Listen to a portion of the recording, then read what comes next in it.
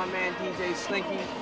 And we're just about to show you a little highlights of my life. You got one of the baddest DJs in the land. DJ Skribble behind you. This Oh, brother yeah, that's right there. is bad. Show, show me.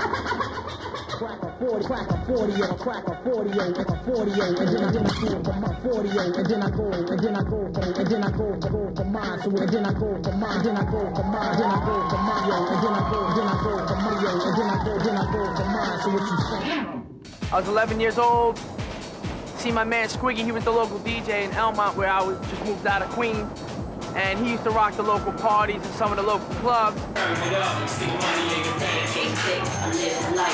And when I seen him DJ, it's something that I always wanted to do. And I used to go to his house every day after school and try to DJ on his equipment. Now, they used to be with a group called Young Black Teenagers. And they Why you going white. there for? Why you gotta go there for? Man, yeah, did I remember? I bought the CD. I said, ain't no black people in the group.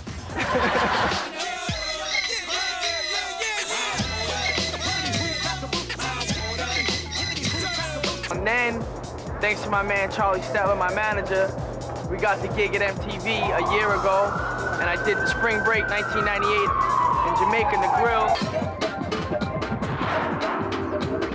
Hey, welcome back to the grind from MTV Spring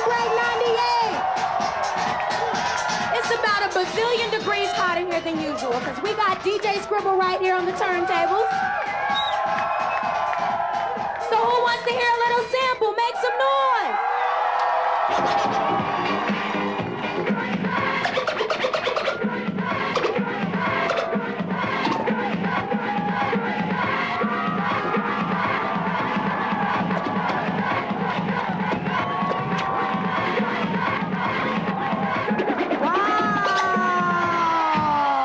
We did the show in Jamaica, and I did the grinds, and then MTV offered me to do a summer show called The Daily Burn.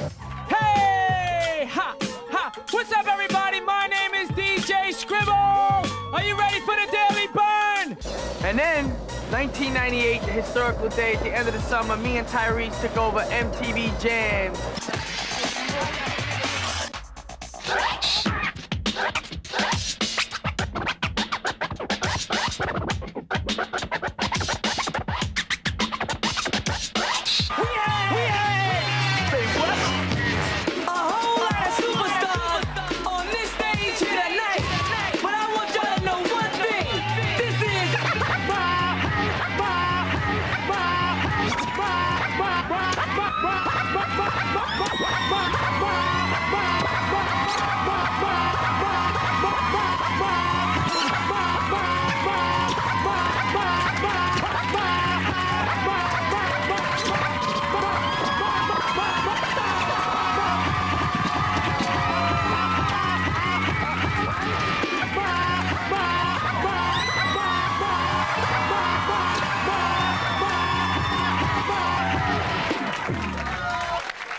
how you doing? it.